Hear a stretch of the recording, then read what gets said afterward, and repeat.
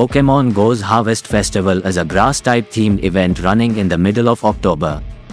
The headline of the event is the debut of Smoliv and its evolutions, Dolliv and Arboliva, which were introduced in General 9's Paldea region.